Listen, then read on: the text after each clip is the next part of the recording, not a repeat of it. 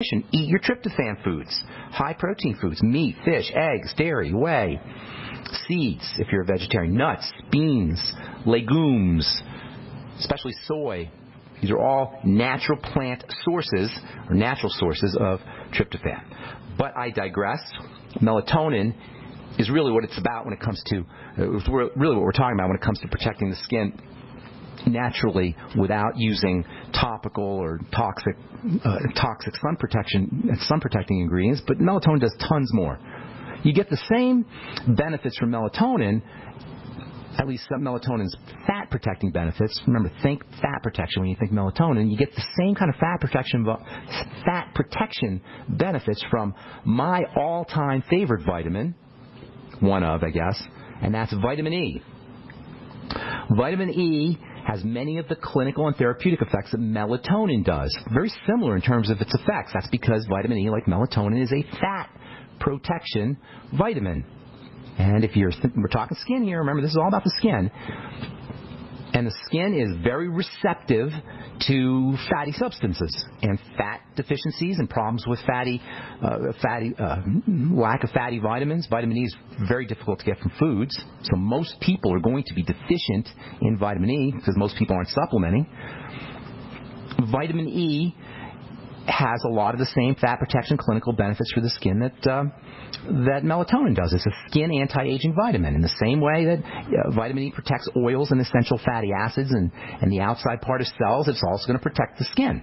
Vitamin E is always going to be found in high-end or, or most essential fatty acid products, including the Youngevity EFAs and EFA plus. I use vitamin E in the lab when I'm making a skincare product. If you put oils in a skincare product, and I, I tried to stay away from oils, but every once in a while I would have to use one if I was formulating for somebody else or filling a prescription. There's uh, you have to put fat protection molecules, antioxidants, fat antioxidants in your skincare product. The most common one is something called BHT, butylated hydroxytoluene. BHT, toluene. BHT is not necessarily toxic. It may or may not be. There's, some folks don't think it is, but some folks do. What toluene certainly is. Anyway, BHT is found in bread. Anywhere where there's grains or grain oils, you'll see BHT. I didn't like working with BHT. So I use vitamin E. Vitamin E is just as good as BHT when it comes to protecting oils and fats. Look for vitamin E in your skincare product if you're using a standard cream or lotion. Vitamin E also plays a major role, like melatonin, in the brain and in the nervous system. Vitamin E is one of an Alzheimer's patient's best friends. In fact, all fats for Alzheimer's patients. Alzheimer's disease is tragic on so many levels.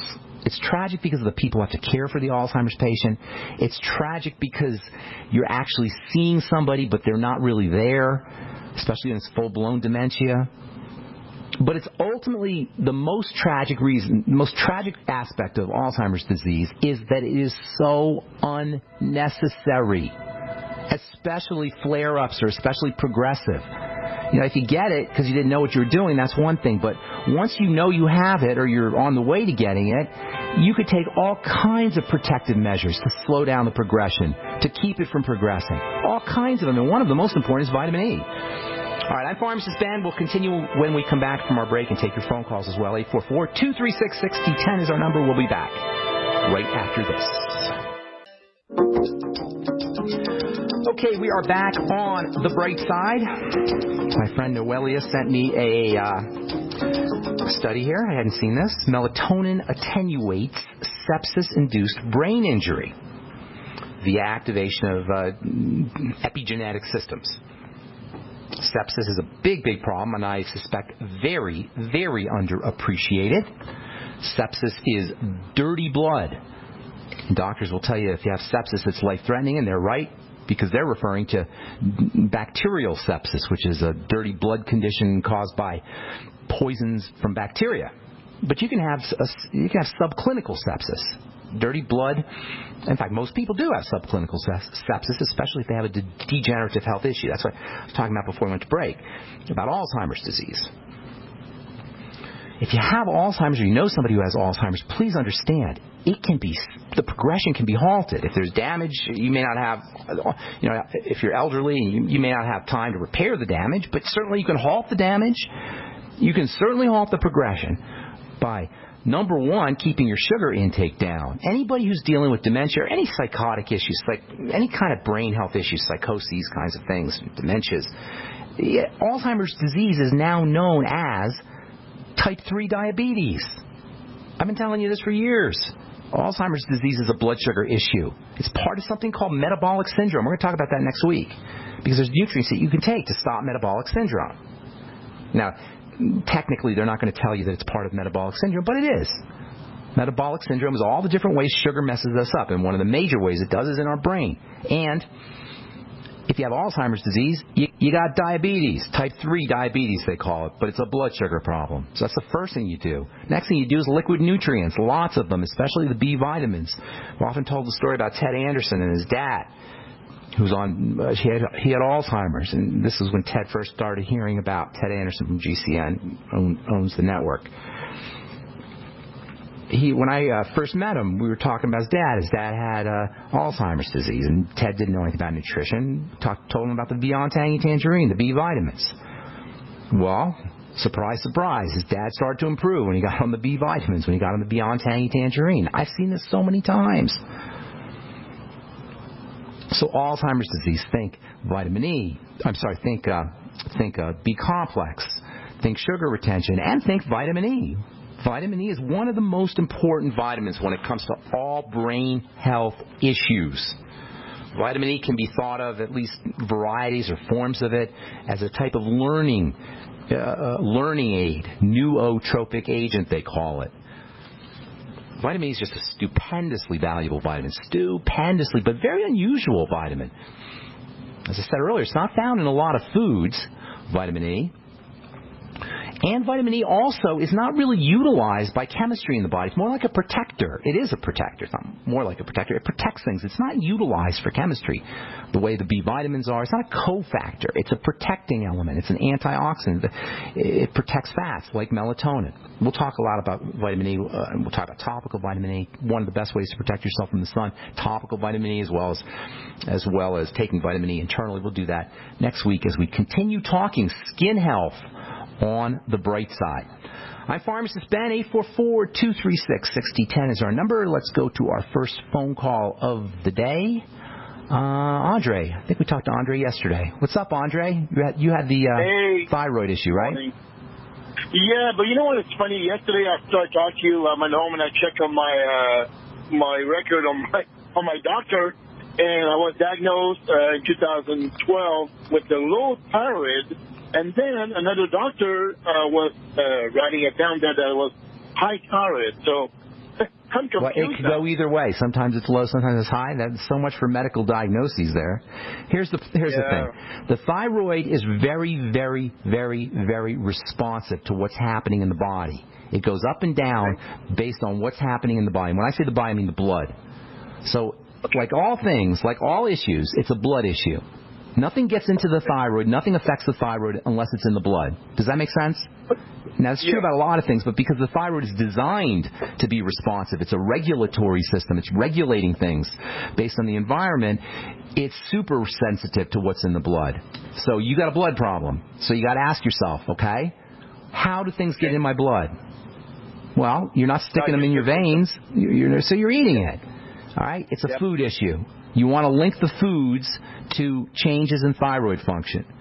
Now, you also have to work on digestive health for a lot of reasons. Number one, if your digestive system is not working, well, first of all, things are going to leak into the blood. That's one reason why you want to work on the digestive system, to keep things from leaking into the blood. So you've got to patch up the gut. I'll tell you a few things to do here in a second.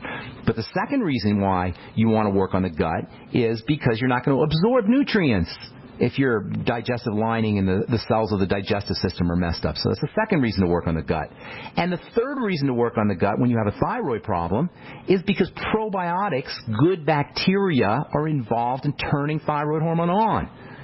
The gut regulates the thyroid, and the thyroid then regulates the gut. So there's all these reasons why you want to. When I say the gut, I mean the intestine. What you want, there's all of these reasons for when you have a thyroid problem. Everybody listening, okay? Because hypothyroidism is a major, major health issue. Major, major, major. Maybe the most important of all health issues. Broda Barnes wrote a book called The Hidden Cause of All Illness. Uh, and I think that's the name of it. I always forget the name. But his name is Broda Barnes. And he hypothesized that everything, all illness was related to, uh, uh, to the thyroid. And he's right. It is. It's the jumping off point. But the thyroid itself is dependent on the digestive tract. Okay, so work on the digestive system first. Hashimoto's and Graves' disease are, are the two major causes of uh, hyper and hypothyroidism. Hypo and hyperthyroidism are, are autoimmune diseases, which also is a food problem. So here's what you do for thyroid. All right. If you and by the way, if just, if, yeah. If I can say something real quick, I'm also now having uh, Graves' disease. You're also what? Because I them have the Graves' disease. Yes, I know. I told you that yesterday, and you said no, you Yeah. didn't. Graves, Graves' disease. Don't worry about it. Um, don't worry about the names. Your diagnosis doesn't matter. Okay, the name doesn't matter as far as reversing this thing goes. So here's the deal. Graves' disease, by the way, is just an autoimmune disease of the thyroid, and it causes the thyroid to go crazy. Okay, so here's what you do: patch up the gut with soothing mucilaginous gummy substances. That's the first move. And that means the Fucoid Z, algae products, seaweed, cartilage, anything gummy, noni, aloe, anything that kind of has a gummy, kind of mucilaginous quality to it. Glucosamine can help you there too, as well as gelatin. Glucogel caps have both. That's number one. Okay. Number two, get on a nightly essence and use a lot of them. And in conjunction with the nightly essence, you want to be eating fermented food as much as whatever you can find, especially veggies. And in conjunction with that, you want to be drinking veggie juices.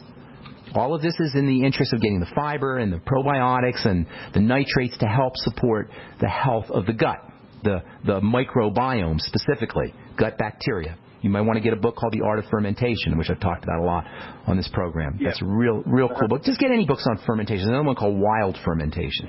Those are two good books on fermentation. Very easy to make your own sauerkraut and uh, miso and tempeh and kimchi, etc. All right. The next thing you're going to want to do is you're going to want to make sure you're getting lots of liquid nutrients, especially the electrical nutrients, especially the B vitamins, and that means you're beyond tangy tangerine. In fact, I'd be doing the whole healthy start pack if I were you. That way you'll get your essential fatty acids, which are also important for the thyroid. Okay? And then, last but most certainly not least, make sure you're keeping your sugar intake down. Uh, the thyroid will go nuts, especially if you have Graves' disease. If you get a big old burst of sugar, uh, nothing will make the thyroid go more uh, crazier than uh, uh, sugar, especially if you're drinking soda pop or something that gets the sugar into the system real quick. Uh, also, food allergens. Hang tight. I'll finish up when we come back from our break. I'm Pharmacist Ben. You're listening to The Bright Side on the Genesis Communication Network. Okie dokie. We are talking to uh, Andre, I believe. I lost my lost my little list here. Andre in California. Is that Andre? Do we have Andre? Yes. Hey, Yeah, buddy.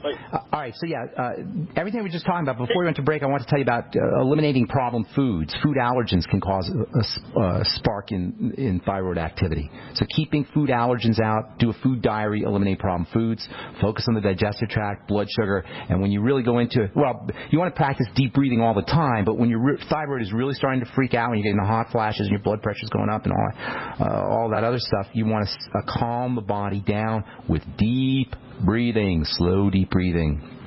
In through the nose, out through the through the nose, 15 seconds in, 15 seconds out, uh, and then maybe two or three minutes of that. Okay? What do you have to do? What do you have to uh, breathe out through your nose? Can you just breathe out through your mouth? Well, hang on. Let me just say, I forgot one thing. Don't forget about iodine, too. Iodine's not curative for the thyroid, but if you're hyperthyroid, you're going to be burning through iodine. So you probably, you may run into iodine deficiency. So make sure you're doing some iodine also. Uh, uh, either Lugol solution or iodoral, uh, or uh, the nascent iodine.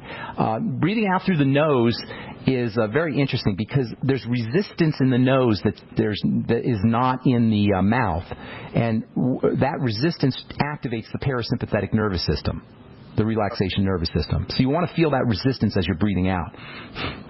You can you can actually Yeah, yeah. do That's what that, that's why I feel it. That's why I didn't really want to do it. I was actually deep breathing, but exhaling through the mouth. No, you want to activate the nerves in the nose, the parasympathetic, the relaxation nerves in the nose, and resistance does that.